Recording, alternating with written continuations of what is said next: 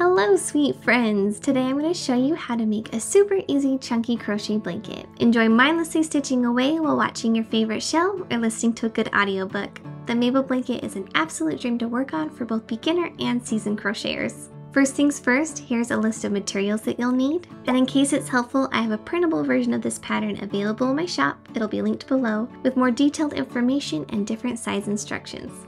First thing you're going to want to do is grab three colors of your favorite worsted weight yarn. Using all three strands at the same time, make a slip knot. Grab a P-sized hook. My favorite is this one from Boy Yarn Crafts. I'll try to get a link for you down below.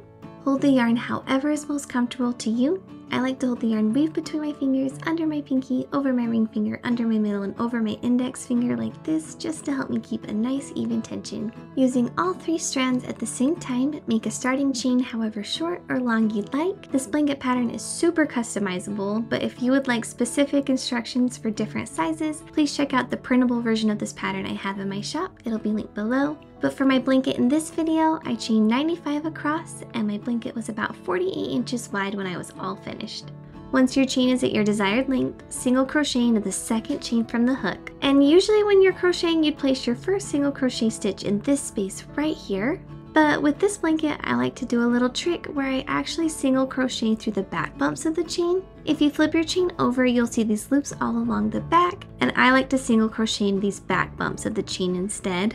So here's the first bump. I'm gonna work my hook into the second bump right here and make a single crochet stitch.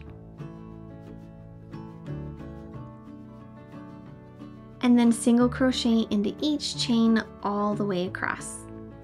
Going through the back bumps of the chain is totally worth the bit of extra effort just because it makes that first row look so nice. If you'd like more information about single crocheting through the back bumps of the chain, I will have a video linked for you below. But if any of this sounds weird or complicated or confusing, please feel free to completely skip this trick and just single crochet across however is easiest and most comfortable for you. The only thing that is important here is that you're single crocheting into each chain all the way across to the other edge of your blanket. Once you've made your last single crochet, make a chain one and turn your work this is our chain one and we are going to make a single crochet into this space right here, which is actually your last single crochet stitch of the previous row. So take your crochet hook and work it into this space, making sure to go underneath both loops here, front and back. And make a single crochet stitch. And in the stitch right next to it, place another single crochet and then just continue to single crochet all the way across to the other end of your blanket. For each new row of this blanket, you will make a chain one and then just single crochet into each stitch all the way across. If you at all struggle with knowing which stitch exactly is the last stitch of each row, or your blankets always seem to turn into trapezoids rather than rectangles, please be sure to check out my how to keep the edge of your blanket straight video. In it, I just share a super simple trick that I love to use to help take out all the guesswork of where each row actually ends. And if you need help knowing how to start a new skein of yarn while making your Mabel blanket, check out my video called How to Make a Magic Knot that's the trick I always love to use when making Mabel blankets. It just makes starting a new skein super easy and so that I don't have to weave in loose ends later, which is always so nice. Both videos will be linked in the description box below if you'd like to check them out, but that's about all there is to this blanket. The whole thing is just single crochet stitches back and forth, super easy and it's so relaxing to work on. Once your blanket is as long as you'd like, mine was about 60 inches long, go ahead and finish up that very last row and then we'll add a border. Once you've placed your very last single crochet stitch, go ahead and put two more in that exact same space for a total of three single crochet stitches. This is going to act as the corner of our blanket. So we've got one single crochet, there's two, and there's three. Three single crochet stitches all in the same space. Once you've got all three, go ahead and turn your work and now we're going to single crochet along the side here. Try your best to do an even amount of single crochet stitches all the way across. What I like to do is go through this space right here, working underneath just the top two loops on this side. You can see that there's the two loops on the top with a few strands of yarn underneath the hook. Just to show that a little more clearly, the few strands of yarn underneath with the two loops on the top. And there's your first single crochet stitch on the side. Place the next stitch in this space right here. And then I'm back to the spot where I like to work underneath the top loops. But if you want and it's easier and you don't want to worry about going underneath the top loops, you can totally just place a single crochet in this space right here. But I personally feel like it's a little bit too big of a gap. I just prefer the look so much more of this one rather than this one but you do whatever is most comfortable for you. I'm gonna do that stitch really quick and work my hook just underneath those top loops, leaving a few strands of yarn underneath just to help close up that gap.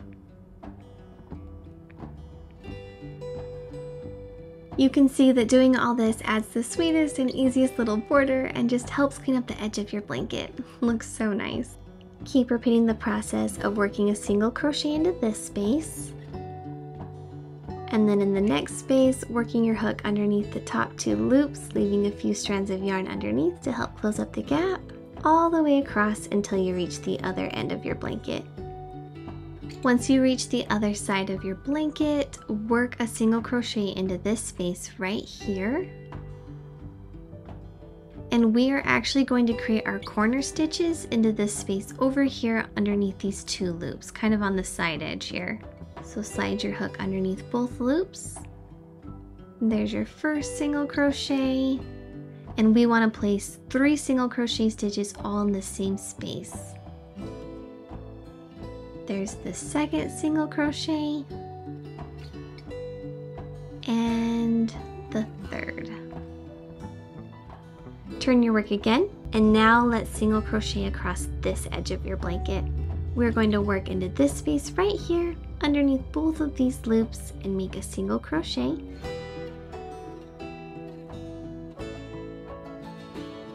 And in the next space, do the exact same thing going underneath both loops. Place single crochet stitches all the way across like this until you reach the other end of your blanket. Single crochet until you reach that very last stitch of the row you're going to place three single crochet stitches in this same space right here. So there's our first single crochet. Now let's place the second one. There's one, two, and there's three. Turn your work again, and now let's add the border along this side edge over here. Just repeat the same process that you did on the other side of your blanket while you single crochet across so that all the stitches line up and everything looks even. Once you reach the other end of your blanket, you will see that you actually already have a single crochet stitch in this corner here. So you only need to place two more single crochet stitches in this space here to have a total of three. So here's one, and two for a total of three single crochet stitches all in the same space. And guess what, sweet friends? We are all finished crocheting our blanket. So go ahead and grab a pair of scissors, cut your working yarn away from your blanket, making sure to leave yourself several inches of yarn to work with for this next step. Grab a hold of your hook and pull on the loop until it pulls all the way through.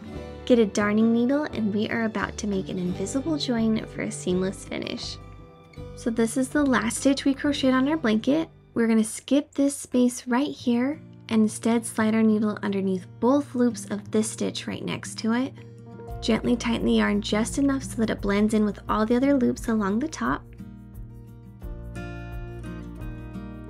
And then we're going to go back to our original last stitch, but this time instead of going underneath both loops, slide your needle down through the middle and only through the front loop here.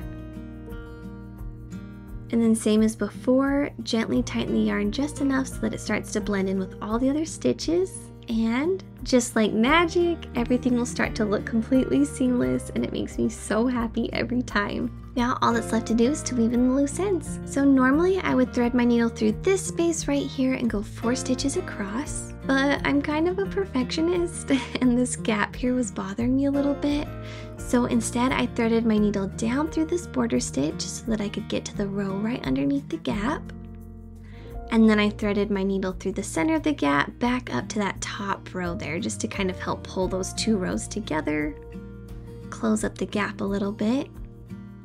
And it already looks so much better. So we've threaded through two stitches across here and I like to go four just to be safe. So we're gonna thread through two more. And then I like to find a little loop or stitch close by that I can thread the needle through to act as an anchor point. This just helps hold the yarn in place while I pass back through the same four stitches as before. You can see I'm going through the exact same four stitches, just in the opposite direction. This helps hold the yarn in place super securely so they don't have to worry about loose ends poking out later. Once all your ends are weaved in, go ahead and grab your scissors and cut the extra yarn close to your blanket. And that's it, you're all done. You can enjoy your blanket as is, or if you'd like to add some fancy fringe, keep on watching. I'll teach you how to do that. To make fringe for your blanket, you're going to want to grab a skein of yarn and start to unravel from the outside of the skein rather than unraveling from the inside here. That way the strands are more likely to lay straight and not look as bent or twisted. Next, grab a book, take your yarn and line it up with the bottom of the book using your thumb to hold it in place while you begin to wrap your yarn around and around the book as many times as you'd like. Once it's nice and full, grab a pair of scissors and cut the working yarn away from the skein, and then cut along the bottom of the wrapped yarn you just created for your fringe. And now you've got a nice pile of yarn to work with. In case you're wondering, my strands of yarn were about 18 inches long. For this particular style of fringe, I like to attach it along the top of this first single crochet row, right into these spaces right here. So first things first, grab a crochet hook, and for our first section of fringe, I like to attach it to the side over here. So look and find the side stitch that matches up with that row. Slide your hook in from back to front, right underneath both loops on the edge there. Grab five strands of yarn, fold them in half, Drape this loop from the folded strands over your crochet hook and use your hook to pull the strands of yarn through the blanket. And then I think it's easier to use my fingers for this step to reach up through the loop grab a hold of the strands of yarn and use my fingers to pull them through the loop and then just pull to tighten. Now that we've attached our first section of fringe, we're gonna skip this space and attach our fringe into this space instead. So grab your crochet hook, go up underneath the blanket and through this space right here. Same as before, grab five strands of yarn and fold them in half. Take the loop from the folded strands and drape it over your crochet hook and use your hook to pull through the stitches of the blanket. Use your fingers to reach up through the loop. Grab a hold of the strands of yarn and pull the strands through the loop with your fingers. And then just pull to tighten. Grab five strands of yarn, fold them in half, insert your hook through the back of the blanket, making sure to skip a space in between. Pull the strands through the blanket with your hook and then pull the strands through the loop with your fingers. Then pull to tighten. Here's how things should look once you started to add your fringe. Go ahead and repeat this process all the way across the bottom edge of your blanket until you reach the other side. If you ever end up with a weird loop of yarn that's kind of poking out and won't tighten down, you can grab each strand of yarn individually and give it a pull until that problem loop goes away. Once your fringe is all attached, we are going to add a beautiful knot detail between these two sections of fringe. Take 5 strands of yarn from one section of fringe, then grab 5 strands of yarn from the section of fringe right next to it, and we're going to tie them together with an overhand knot. To do that, I like to hold my two fingers together like this, reach up under the strands to scoop the yarn, then I slide the tail of yarn between these two fingers and pinch them together and then I pull through the loop to make an overhand knot. Don't make this knot too tight in case you need to adjust the height later. Then we're going to take the 5 leftover strands from this section of fringe and grab 5 new strands from the section right next to it. Same as before, use your fingers to scoop underneath the yarn here, pinch the tail between your fingers, and pull through the loop. Repeat this process all the way across your blanket, tying overhand knots between each section of fringe. Try your best to line up the knots as you go along, and don't forget to do one last overhand knot on each side with the five leftover strands on the edge here. Once all your knots are in place, adjust the heights of each of them to try to get them as even as possible. Once they're all lined up, tighten the knots however you'd like. It might be a little excessive, but I always like to pull on each individual strand just because it gets the knot super tight and it looks super nice. But you go ahead and do whatever is most comfortable for you. With these side knots though, I don't tighten each strand individually just because I worry it might make the knot a little bit too tiny, so just tighten them enough that the knot is secure.